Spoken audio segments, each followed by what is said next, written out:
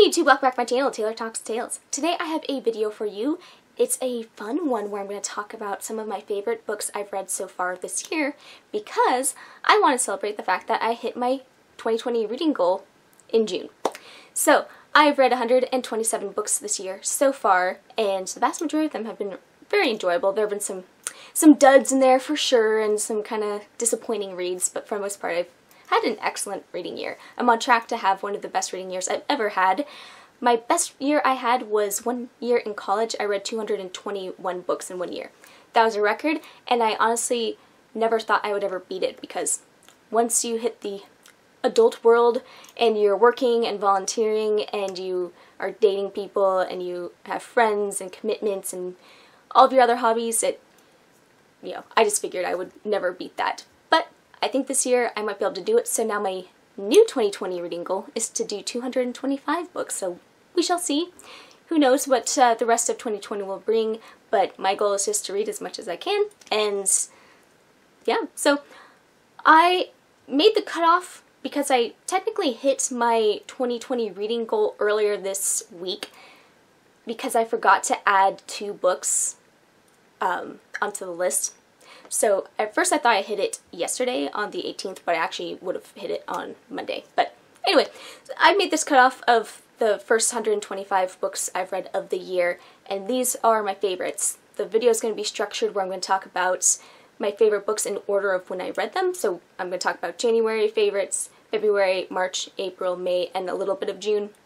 So anyway, let's get into it. I don't want this video to be too long. I feel bad. The last couple of videos I've uploaded have been way too long, but there's just so many books to talk about, and I love to talk about books and could talk about them forever. So anyway, let's get into it. Here we go. These are January favorites. Alright, first up is The Secret Life of Souls by Jack Ketchum. This was one of the first books I read in 2020, back in January, which seems like a lifetime ago now. Um, I picked this one up initially as a library book, and I started reading it in 2019, but then finished it in 2020, and I really liked this book a lot. I didn't go into it with very many expectations. It's a Jack Ketchum book, and he co-wrote this with Lucky McKee, who wrote uh, the screenplay, and he did the movie um, May, The Woman, I believe, and then there's some other movies he's done, but he's really famous, at least in my mind, for May, which is a phenomenal indie horror movie. I think you guys should go check it out. It's one of my favorites. And I want to see what it was going to be like the two of them collaborating on a story, and especially since the story sounded a little bit different than something that Jack Ketchum had done previously or Lucky McKee had done previously, where the story focuses, it's essentially a story about a girl and her dog. We have Delia, who is 11 years old, and she's a twin, and she's very beautiful, and she is training to become an actress. She has acted in some commercials, but her parents are pushing her to have her big break. And then you have Katie, who's this adorable Australian cattle dog who is extremely loyal to Delia. They have this very incredible bond. And when a tragedy happens in the family, things start to happen, and I think you should just pick up the story not knowing anything more about that because once the story takes off, it really takes off. It has a wonderful ending. I loved the ending of this. The first part of it is a little slow. Um, it took me a little while to get into it, but once I did, I really enjoyed it, and it's one of my favorite dog books. I love dogs, but I do find sometimes dog books can be a little cheesy sometimes, but I feel like this book didn't do that, and I just really liked the dynamic between Katie and Delia, and like the family drama, and there's a revenge aspect to the story, and I love revenge stories, so this was just a very enjoyable read. One of my favorites of the year, not just in January, but just one of my favorites of the year so far. Next up is another favorite of mine, and that is The Fisherman by John Langan. So, John Langan, he wrote this book, and it got turned down by a bunch of different publishers because it was too literary for horror publishers and it was too genre for literary publishers. But I'm glad that this got published because this one was fantastic. I have had this on my TBR for several years now and I am just, I wish I had read it sooner. I think that a lot about some of my favorite books. I'm like, I just wish I'd read it when I first wanted to read it. But this was phenomenal. This follows two men. They bond over fishing because both of them have lost very important people to them. Main character, he lost his wife to cancer, and then his friend and coworker that he starts bonding with lost his wife and his two sons. And they decide one day at the suggestion of the coworker to go check out this place called Dutchman's Creek and there's supposed to be some very good fishing there. They decide to go do that, but they stop by this diner on their way there where they run into the owner of the diner who tells them this very creepy story. And I think that's all you need to know about this book, aside from the fact that it is beautifully written. It is this really neat blend of cosmic and folk horror, which I thought was really cool. You do not need to be a fan of fishing in order to enjoy this book, but if you do happen to like fishing and the outdoors, you will appreciate the various references to fishing and some of the scenes involving fish and fishing. And I just think it's a really powerful book that explores different types of grief, especially since the two main men experienced grief very differently. The main character, his wife died of cancer, so he had time to say goodbye, and it was a little bit different as opposed to the coworker.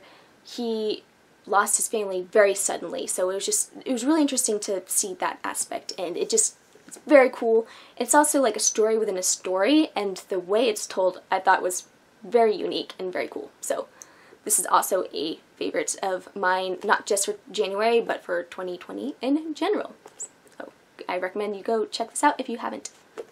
Next up is when I did my big thriller binge, I I picked two. My top two from that big thriller binge, I would say, is The Kind Worth Killing and Recursion by Blake Crouch. I don't own either of those books yet. I definitely want to own them because I want to own every book that I've loved so that way I can have this just really awesome personalized library. But by the time I was going to purchase them, I quarantine was already happening and I figured I would rather make sure I have enough reading material and then at some point know that I'll go back and get those copies. So, Kind Worth Killing, I was sucked into that story. I still think about it and I think it's on my list. I had it up pretty high, but I actually think I would bump it up even higher now that I've had a couple months to think about it. It's very twisty and it's, I think it would make a really solid, really cool movie. And it's one of my new favorite thrillers. I think it's really well done. I was intrigued by the characters and the plot is not predictable. There are a lot of twists and turns. It feels almost like a roller coaster ride and it's just very gripping and it's a nail biter, page turner, you name it. It succeeded on all levels, I thought anyway. So that was an awesome one. And then, of course, Recursion by Blake Crouch. This is my new favorite Blake Crouch book. I absolutely loved it. It is this science fiction story, but it's also a thriller. It just blends the two really well together. And I think for me, I enjoyed Dark Matter and I really liked the Pines trilogy, but this one, it it connected with me mainly because I have this just powerful fascination with memories and the way that this book played with memories and dream, well not dreams, but like memories and time travel and some other really interesting topics like that was super cool. I, and it, like the stakes get really high in this story too. You essentially first follow these two characters in different timelines and then at some point the timelines come together and it's really about figuring out why are all these people suddenly committing suicide in one, and then the other is figuring out how to prevent Alzheimer's with this chair that could potentially preserve memories and how they connect. And it was just really cool. I have a full review that I've already done, so I'm going to link that down below so you can kind of see a more comprehensive review, but that was also a favorite of mine for January. Next one, I want to mention this book it's not a perfect book, but I really liked it. I also have a full review of this book on my channel as well. And that's Imaginary Friend by Stephen Chbosky. I still think about this book. This book, of all the books on this list, this is the one I do have the most issues with. It's not a perfect book, um, especially I didn't care for the ending and there is one character I did not like her arc at all. I think it's Mary Catherine. It, I don't know. There are just like some problems with it, but I still the parts of this book that I liked, I really liked. The imagery and the descriptions and just so much about this story was really cool. And it's very unique and there's some horror tropes that I happen to really like that are found in this book. And I, I enjoyed it, especially I'd say the first like 500 pages are solid. It gets a little weird at a certain point, but I still finished it and I still enjoyed it. It was a 4 out of 5 star read for me. And I recommend you check it out. It's a fairly polarizing book. You can just check Goodreads and people are either loving it or hating it, but I think it's worth a try. I think it's worth visiting and checking it out to see if you might like it, because if you end up in the liking it camp, I think this will be a very fun treat. And if you don't like it, at least you can say you've read it and at least some of the creepy scenes I think will stick with you. So this was also an enjoyable one and one that I'm still thinking of all the way in June now. Next one, I also have a book review on my channel already for this book, but that is Long Bright River by Liz Moore. So this one, I I read it also around the time when I did my thriller binge, but I didn't consider this to be a part of my thriller binge. One, because I read it at a slightly different time. I read it um, a few weeks apart from the thriller binge, but also because I consider this to be more of a slow burn police procedural mystery drama as opposed to a true thriller. And I think that is why some people may be disappointed with this story because they expect it to be this like nail biting serial killer, like really deep, dark, just intense roller coaster ride of a story when it's it's not but it's still a very good book it's well written it explores so many contemporary issues, so many problems going on in America and just society in general are explored in this book because you pretty much follow a police officer trying to search for her sister after discovering a dead body and it looks like there may be a serial killer in this very poor part of town in Pennsylvania and she's trying to track down her sister who is addicted to opiates and heroin and several other different substances and her sister is also a prostitute and then she has disappeared and so the detective has to, uh, the police officer, she has to track down her sister while also trying to help out with this situation and balance motherhood and it's really an exploration of how sisters can be so different even if they are raised in the same home because they grew up in a house with addicts and then they end up being raised by their grandmother once their parents were out of the picture. And the police officer she kind of goes the straight path and her sister becomes a full-fledged addict. And it's just really interesting and well done. And I do suggest giving it a shot. Just know it's not going to be a high caliber thriller like you know The Kind Worth Killing or Recursion or some of the other books like Pretty Girls um, pretty much any Karin Slaughter book is a non-stop ride through um, this book is not going to be like that but I still think it's worth revisiting or visiting if you haven't checked it out yet. It's it's very good and well done and heartbreaking at times and pretty dark as well. So you can check out my full review below. I'll link it in the down bar below. Now we are into February books. So February was not quite as strong of a reading month for me. January was very solid. February and March weren't I, I still read 11 books in each month, but it still wasn't on par with January, April, May, and June, but I still read a few good books. Alright, first one I want to talk about is probably my favorite fantasy book of the year so far. It's just right up my alley in terms of what I like in fantasy, and that is Middlegame by Seanan McGuire, which, cool cover. This is A Hand of Glory, which does play a role in the story, which is very cool. This one was awesome. I still think about this book a lot. It's been a few months now and it's so fresh in my mind. I highly recommend it to pretty much anybody who likes fantasy, especially if you like dark fantasy or fantasy with a twist. It's very unique. It's a standalone as well, which is awesome. And you don't have to be a fan of Seanan McGuire's other work to enjoy this one, but if you do like her other work, you'll also probably like this one. And if you like her horror work, um, she also writes under Mira Grant, is her other pen name. And Into the Drowning Deep is an awesome horror novel you should definitely check out. But this one, it deals with twins. You have Roger and Dodger, which there's a reason why they're named that, and it's kind of a running joke throughout the whole story. Um, but Roger is gifted with writing and reading and languages. That's his thing. He is just off the charts brilliant at it. And Dodger, his sister, is gifted with math. She is super into math and games and chess, basically anything involving mathematics is her gift and she's off the charts as well. And they, you find out at the beginning, they were created, they're, they're humans but they're not and you kind of learn more about them and their purpose and how they play a role in this alchemist who essentially wants to become God. He almost wants to ascend into godhood and control the universe. And it's just so well done.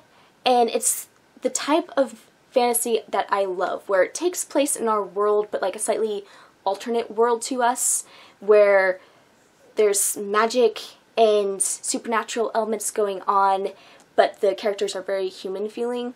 And I loved the relationship between Roger and Dodger, their siblings, and I'm always a sucker for a story that involves siblings, especially brother and sister, because I'm the eldest of four kids, and I have three younger brothers, and, you know, I'm always looking for a good brother-sister story, and I got that with this.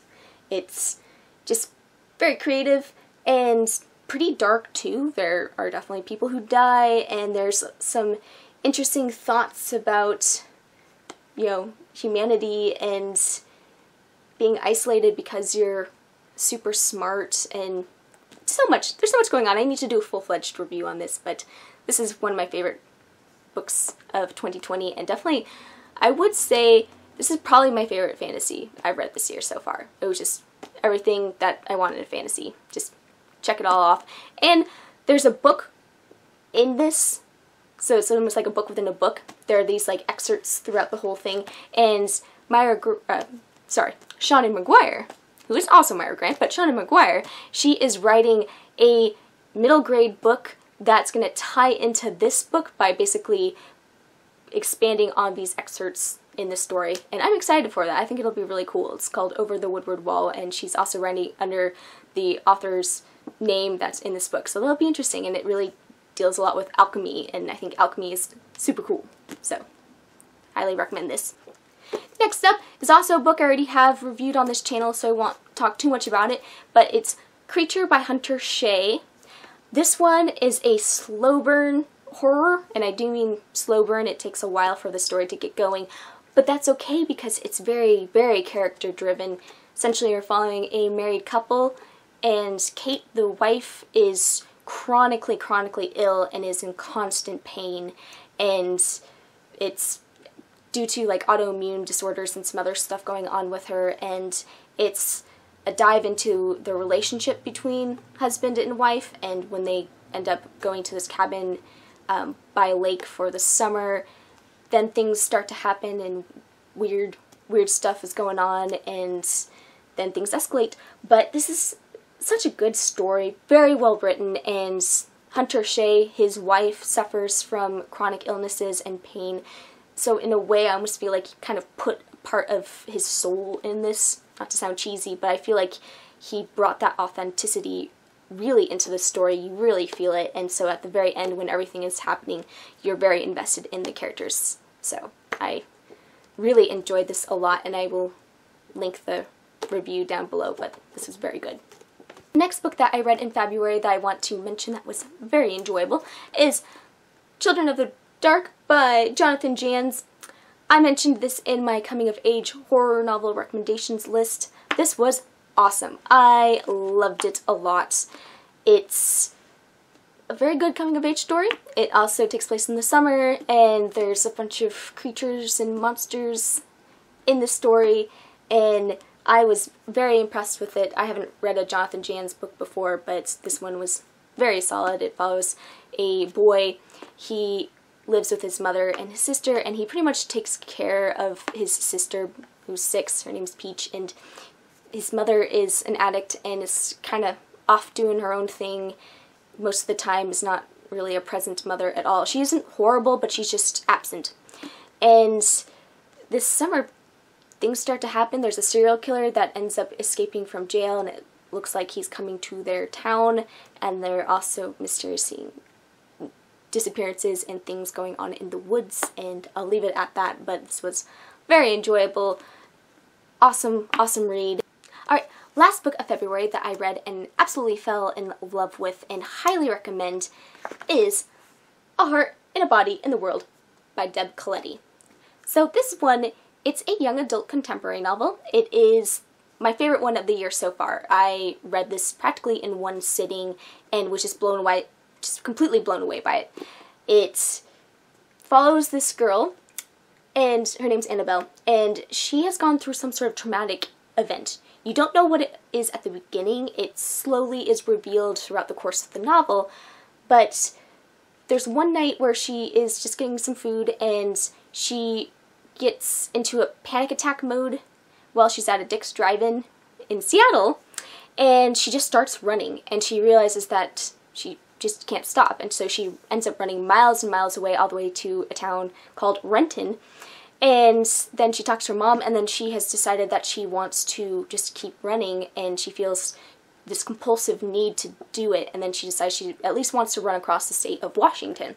So she starts her run, and her mom is initially opposed to it, but her grandfather's very supportive, and he ends up getting an RV, and they, you know, travel along, and you know, slowly but surely, they bond, and she starts to heal and kind of come to terms with some things that have happened. But I connected on this. I connected with this book on multiple levels, I think, because I'm a runner and I also live in the Seattle area. There are parts of this book where she's literally running through places where I've run and places where I live. Um, I mean, she, my mother's town where she lives right now is mentioned in this story, and it's a small Seattle area town, so it was just really cool to see that. Like, the author lives in the Seattle area, and you can really tell. Um, and so I just, I loved that, and I kind of feel like this book was made for me because a lot of the issues and the thoughts and feelings that she has about overcoming her trauma and you know, bonding with her family and running and challenging herself and just so much of this book really just I loved it. It was just so enjoyable. I highly recommend it. Even if you don't like contemporary novels very often, I think this one is a good one to check out because there isn't really romance in it. There's like a teeny bit, but it's like a flashback to something and it plays a role in what has happened to Annabelle um, but there's there there isn't this like meaningless drivel of oh you know this this girl this guy I hate them because they're cheating on me or whatever. Like there's there's very limited teen drama. It really is just this really impactful story about this this girl and her family and running and it's just so so much fun. So highly recommend it. All right now we're into March books. So to be honest, I didn't have very many books I really wanted to talk about in March. Um, main one, in fact, is Kill Creek by Scott Thomas. I have a review for this already. I really enjoyed this book a lot. I wasn't sure what to expect when I went into it. I knew that a lot of people really liked this book, and that was about it. It is different than your traditional haunted house story. It is much more than that. It follows these four authors who spend the night at Kill Creek, which is one of the haunted, most haunted houses in the United States, or possibly even in the world. And events escalate after that, and it's really cool because they spend the night on Halloween night as well. And it was really well done. I enjoyed it a lot. I definitely want to get my own copy. This is still the library copy that I've been hanging on to because we haven't been able to turn our books in since quarantine happened. Um, but I, I enjoyed it a lot. It is pretty much everything I wanted in a horror novel, and I recommend it, and go check out my review. Next book that I want to mention is My Dark Vanessa by Kate Elizabeth Russell. This one, I, I really enjoyed it.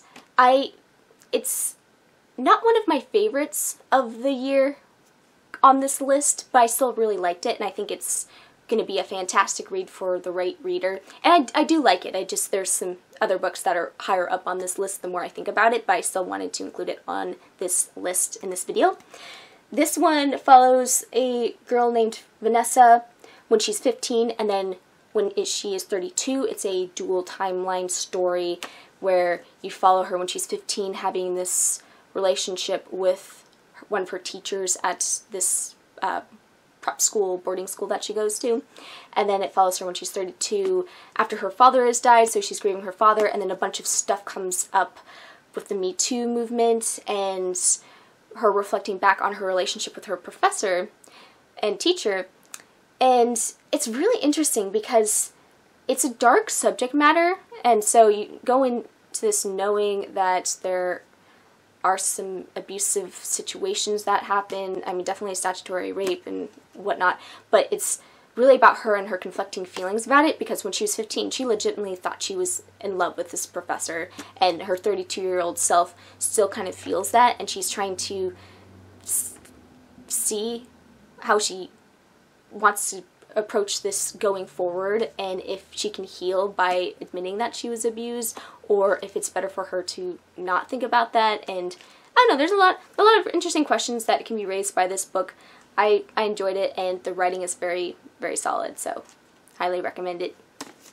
The other one this is a very fun book. I think this was of the books that I read in March um, Off Season by Jack Ketchum. This was just very entertaining, and I wanted to read this book for many years. Funny enough, I actually read the sequel before I read this one, and I don't know how that happened, but it makes a lot more sense now, and I want to go back and read that book. Although technically I think you can still read the sequel without having read this one, because I did and kind of pieced together what happened, but um, this follows this editor. She gets a cabin that's on this coast and decides to invite her friends over for a weekend and just have a lot of fun and kind of let loose and all that stuff.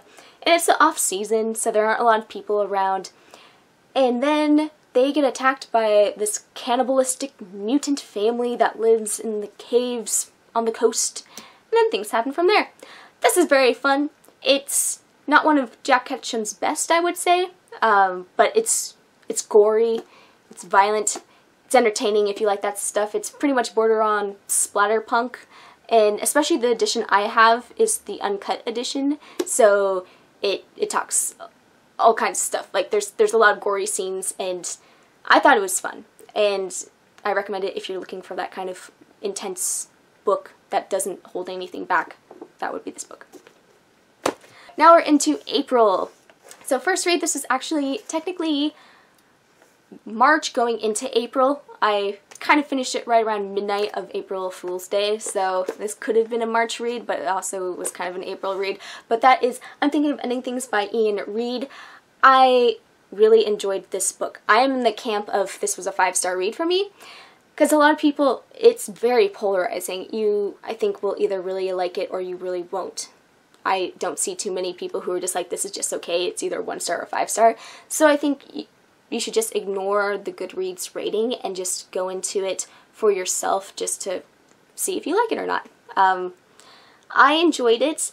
I love all types of horror, so the kind of surrealism in this story and the psychological horror and a lot of the like almost dreamlike sequences in the story worked for me, but it might not work for everybody. So that's why I do recommend just kind of checking it out. I want to do a full-fledged review of this book because I have a few suggestions on reading this book that may improve your reading experience as well.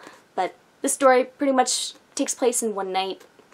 It is following this girl, she has no name, and her boyfriend, and they are going to visit the boyfriend's family farm, and it's in Canada, and it's a very snowy, dark night, and then things happen from there. And I think this is the type of book to also go in fairly blind. You don't need to know too much about it and just go in and see if you like it. So I enjoyed it. Highly recommend it for all horror fans and thriller fans as well. Alright, next up, I'm just going to talk about both of them at the same time, but two novellas by Kealan Patrick Burke. I really enjoy his writing a lot, but we've got Blanky and we have Sour Candy.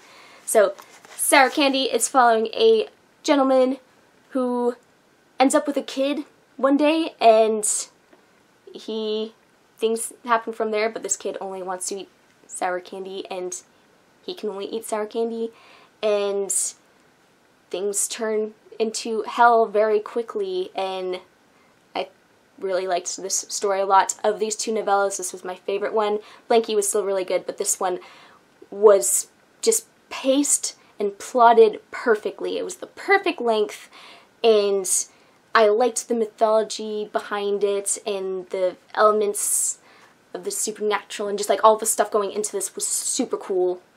Highly, highly recommend it. It's one of my favorite novellas now. Loved it. And yeah, I I can talk about Kealan Patrick Burke all day. So far, every single thing of his I've ever read has been great. And then, of course, we have Blanky. And Blanky follows Steve and his kind of his wife, but it's mainly focusing on Steve. He lost his daughter, his infant daughter had passed away, just she woke up and she was dead in the crib and he's just really depressed. He's drinking a lot. He is just in so much emotional pain and his wife leaves because she needs to take time for herself and one day he gets he hears some noise in his daughter's nursery and he goes in there and he finds the blanket that she was buried in. And then the story kind of goes from there. And this one was also a very solid novella by Kealan Patrick Burke. I think Sour Candy's a little bit stronger for what I personally like in a story but this one is definitely worth visiting and it's sad but spooky and creepy at the same time. So it's a very good one. Of course we also have The Forgotten Island by David Sodergren this is my fav uh, first David Sodergren, and it's my favorite so far. I've read all three of his books that I've bought, and I think all three that he has out. This one was fantastic. I had so much fun with this book. It really feels at times like you are in a movie, a really well done horror movie. The writing is just, it's well done, it's fast paced, it just gets you into the story, and there's there's a lot going on in this book, and I think going into it fairly blind is the best way to go about reading this book. But pretty much you're following two sisters. They are in Thailand for holiday, and they end up through kind of a series of events. Uh, they wake up on a boat after a night out with some people on the boat, and they're heading towards this forgotten island. And once they get there, stuff goes down and it's really cool. I really liked the characters. I liked the relationship between the sisters and how the main character is a total badass. There are some things that she does that are just super cool and the ending was just, oh, it was so good. Um, it's my kind of ending. It was just well done. So much fun and there are a lot of references to different horror movies and couple different horror genres in this and every time I saw a reference I just got very excited because I'm like oh yeah this is great and it's not in an annoying way where it's like oh you know I'm just including this reference to pr prove a point it's in there for a reason so I highly recommend you check out Forgotten Island. Next up we have The Roo by Alan Baxter. If you like creature features if you like B movies, if you just want to read a really fun, fast-paced novella, especially when taking place in Australia, this is a great one. I just went into this book not really having very many expectations, and I just had so much fun. This is just a very fun book.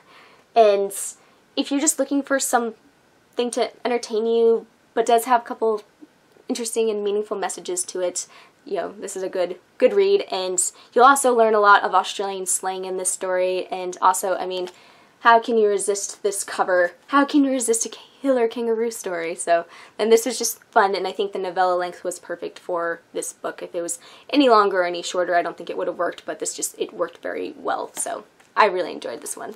We have Of Foster Homes and Flies by Chad Lutzke. This is a wonderful little novella. I included this on my coming of age horror recommendations list and this is actually the novella that inspired me to even make that list because the coming of age element is very strong in this story and there are several references to other coming of age books and concepts in this one. Essentially in this one you're following a character name is Denny, and his mother, his awful abusive mother, dies in the middle of the night. And he wakes up and he has to make a decision about what to do. He really wants to compete in a spelling bee, and he doesn't want his opportunity to be taken away from him because he's been planning this for an entire year. And he's worried about getting sent to a foster home because he doesn't really have other extended family he thinks would be able to take him in, with the exception of possibly his aunt, but he doesn't think that's likely. So, in order to put that off, he decides to just not tell anybody that his mom died. And her rotting corpse is in his house, and it's just kind of him dealing with that. And it's just well done. It's not really, I wouldn't necessarily say this is a true horror story, it's more dark fiction.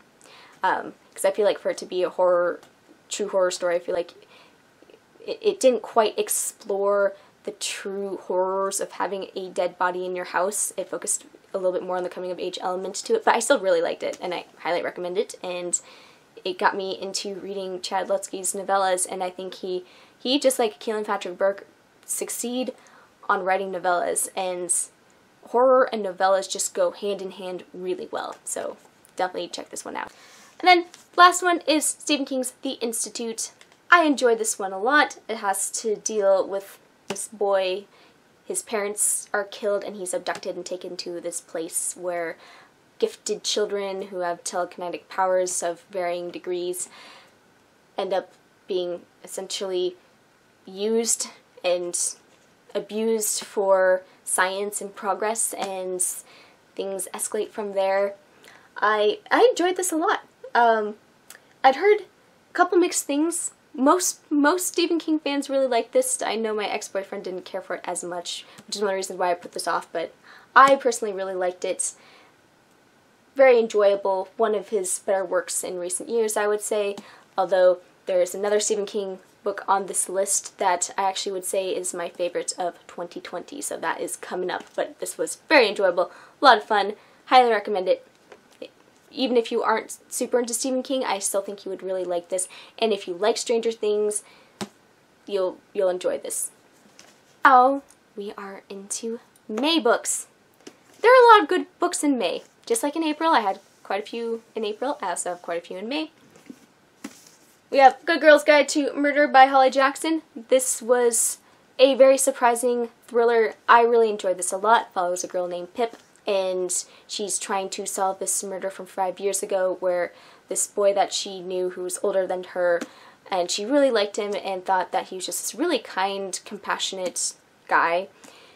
He ends up getting implicated in the murder of his girlfriend and the story takes place it takes off from there and it has to do a little bit with racism in this small town and I just, I really enjoyed this story. I didn't have any expectations going into it because I've had some bad experiences with some young adult thrillers in recent years, so I just kind of went into it thinking, uh, hopefully I'll like it, but who knows. And I, I thought it was really well done. It was perfectly plotted and engaging, and there are lots of twists and turns, and it just, it worked. It just checked everything off on the list of things I want in a young adult thriller and just in a thriller in general. And I can't wait to check out more work by Holly Jackson. We have My Pretties by Jeff Strand. I really enjoy Jeff Strand. In fact, I've enjoyed all of his work I've read this year. I picked this one because I think this is the best done of the books, the three books I've read of his this year so far, but really enjoyed this one. And this follows two women and they are trying to catch a serial killer because the serial killer abducted one of the girl's cousins and she wants to see if she can either save her cousin or at least get revenge on the serial killer. So she uses herself as bait and they are quickly drawn into a very bad situation and then it turns into survival and there's lots of fun in the story.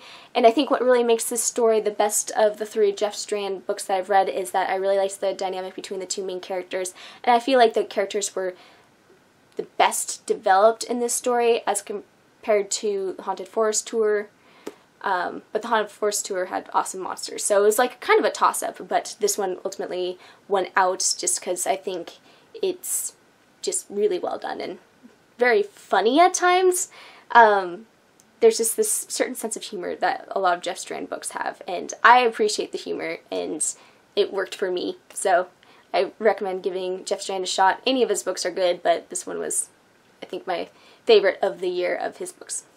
Next up, Blackwater by Michael McDowell. I'm not going to spend too much time on this one because I already did a review on it, but this is a Southern Gothic epic story. There's so much going on in this awesome, awesome novel, and I just think you should really go check out this book as soon as you can. I think the vast majority of people will really, really like this story. Just know going into it, it's not super scary or horrifying. It's has more horror elements to it, but that doesn't mean it's not a good story. It's fantastic, very enjoyable story, very gothic, and a very interesting historical piece, and has some cool supernatural elements. But yeah, just just know you're not going to be biting your nails the whole time, but you will be sucked into this very small town and all the shenanigans that all the members of this family get up to. Next up, we have Dear Laura by Gemma Amor.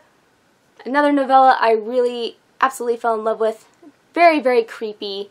I highly recommend it. It's following a woman, you know, it starts out when she's a teenage girl and then she progresses over the years to, you know, by the time the story ends, she's in her 40s. And it's about her correspondence with this uh, serial killer who killed her friend Bobby. She wants to know where he's buried and a little bit more about what happened. And so this guy kind of drags her along and requires her to do certain things. And at first it's like, give me a pair of your panties, give me one of your used sanitary pads, but then it escalates very quickly into uh, other stuff that I don't want to spoil, but it it's very good, very creepy, solid writing, and I have already been checking out some of Gemma Amor's other work, but highly recommend it. Next one is Stephen King's If It Bleeds. This is his novella collection. There are four novellas in here, and between this and The Institute, I would say this one, I liked this one a little bit more. I think the stories just connected with me very well. Um, it was hard for me to choose which novella I liked most. I think I really liked Mr. Harrigan's Phone um, and If It Bleeds. I liked the concept of If It Bleeds a lot, and it also ties into the Finders Keepers or Bill Hodges trilogy, and I thought that was very cool. But but all of them were good. Like that's the thing is it's like hard for me to do that, um, but a lot of them were pretty relevant to things that are going on today. Highly recommend it, and I definitely need to do a full-fledged review of this book at some point. But this is, I'd say my favorite Stephen King book of the year and also one of my favorite uh, collections of stories or novellas. Next up, we have Folk of the Air Trilogy by Holly Black. I enjoyed this whole series. Really recommend it. I need to do a full-fledged review on this, but this is my favorite series of the year that I started and completed in the year. Because I do want to say that um, I really enjoyed Dresden Files. I am working on a specific Dresden Files series right now, but I read the book of the series last year and finished reading up this year, and I didn't want to um, include any of the single books on here. But anyway, I enjoyed this, recommend, it's very good YA. Last one, Brandon Sanderson's Warbreaker. This was very enjoyable, great fantasy, also a fantasy standalone, so that was a plus for me.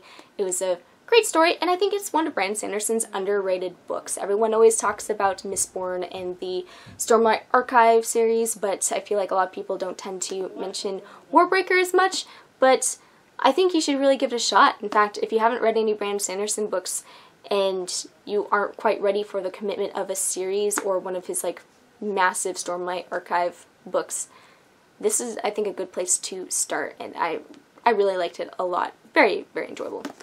Oh, we're into June. So I already know I'm having a wonderful reading month in June. I've just picked a couple. Slowly We Rot by Bryan Smith. I already know this is going to be a favorite book of mine.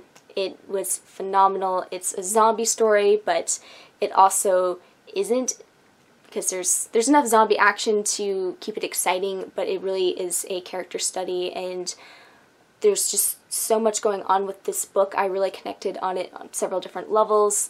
It's it's hard hitting at times and it's very dark and there are some aspects of it that are kind of bleak and sad, but then there are other aspects that you know there's there's enough hope in certain chapters that keep you going and just makes you think. It's a very thoughtful, thought-provoking story, and I definitely need to do a full-fledged review on this, but pretty much the story follows a character named Noah who has been on his own for several years in the mountains in Tennessee, and one day his sister comes back and she is very angry, kicks him off his land, and he decides to journey across America to see if he can find his one of his ex-girlfriends that he was absolutely in love with, but things don't go to plan and he has to come to terms with loss and a bunch of other bunch of other things and really too this is a story about a man's descent into his really bad alcoholism. Like it's it's it's hard to watch. It's hard to read. It's hard to read his mental disintegration as well. Um, so it's hard hitting book. Just be prepared. It is not a light and fluffy read, but it was very good. All right, two novellas. We have out Behind the Barn by John Boden and Chad Lutzke. And then we also have The Pale White by Chad Lutzke. Both phenomenal novellas. This one is just such a cool concept. You're following these two boys. They live on this farm with their mom named Maggie. And one day she brings somebody home under a sheet. And next day they wake up and this person's a little off and a little weird, but they're hoping to bring her into their family. And you don't want to know any more about that story. Just just go in knowing it's awesome and very cool and I, I enjoyed it. I thought it was a very unique and fun concept and just really, really neat. And then of course the Pale White. This one was just a very impactful story I loved the ending. It was just very heartbreaking. You're following these three girls. They are trapped in this house with this awful man who is pimping them out. Um, they are all underage. One of the girls is nine, and it's they decide to plot to kill this man and get out and escape into the world. And it's just the story goes from there. And the relationship between the girls, I think, makes the story.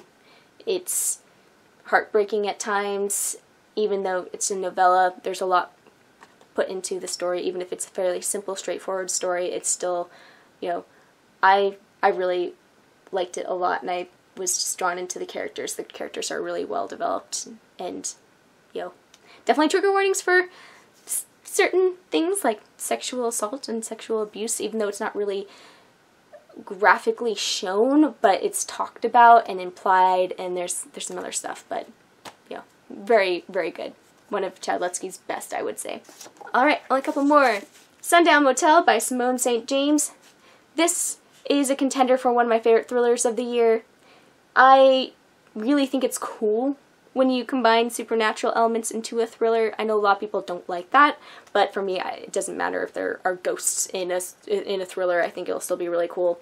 And this follows um, two characters. You have Viv, who is in the 1980s, and then you have her niece, who is in present day, and trying to solve the mystery of Viv's disappearance and also what's going on in the Sundown Motel. There are ghosts, murderers, serial killer, all kinds of things happening with this story. I really liked it. It, I really liked the hotel and I liked the town. And like, I just kind of was picturing almost like a town like Twin Peaks for some reason when I was reading this. So I, I enjoyed it a lot and highly recommend it. Especially if you are a horror fan who wants to read a thriller, I think you would probably like this even if it's not super horrifying really. But if you do happen to like ghosts, like for me, I love a good ghost story. I also like a good serial killer story, so it's just, it worked really well. And last but not least, this is in the contender. I think this is probably one of my favorite novellas of all time that I have ever read. I can't wait to do a full-fledged review on this story, but that is To Be Devoured by Sara Tantlinger, or Tantlinger. I think it's Tantlinger oh my gosh, this was fantastic. This right here is what I want in a story. It is messed up, it is brutal, it is filled with beautiful writing, it is filled with a very complex relationship and a complex character. The main character, Andy, I both loved her and was horrified by her. I felt for her, but also was like, WTF are you doing sometimes? It It's great. Pretty much this book follows, or this novella follows Andy and her slow, but then all of a sudden very rapid descent into just completely losing her mind and being obsessed with wanting to eat carrion and being obsessed with vultures, but it's a lot more complex than that, and I feel like it's just so well done. I loved it. I absolutely love this book. It's great. I it's only 131 pages. It just flies by and I could read it over and over again. I feel like it's it was just great. And it kind of reminded me a little bit of the movie Excision. If you've ever seen that movie, I highly recommend it. It was great. It's a little tricky to recommend at times because it's very niche, but the element of this woman in, in Excision it's a teenage girl, but in this it's Andy's a woman, um, but kind of being slowly consumed by an obsession and then things escalating very quickly into something pretty horrifying.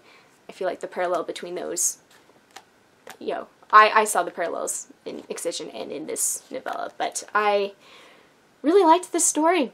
I think it's great. Can't wait to do a full review on it. So stay tuned for that. It'll be coming up. But I think this is one of my favorite novellas, not even just of 2020, but just that I've ever read. So highly recommend it if you're looking for something dark and messed up. Like it'll it it delivers on its promise of it being messed up. It was awesome. There's one scene that actually got to me, and I feel like I tend not to get grossed out by much, but this one got to me. So, in a great way. So I highly recommend it. Five out of five stars. Wonderful. Fantastic. Alright, thank you so much for watching my video. I'm sorry this ended up being a little bit longer than I anticipated, but there are just a lot of books to go through. It was so hard to choose favorites. Um, there were a lot there have been a lot of really good books that I've read, and so trying to select which ones that I wanted to talk about was very tricky. So anyway, thank you so much for watching my video. If you see any of these books you want me to do a full-fledged review on, please let me know. Also, if you are interested in me possibly doing my least favorites of the year so far, I can also do a video like that. So anyway, thank you so much for watching. Please like, comment, rate, and subscribe, and I will talk to you guys later.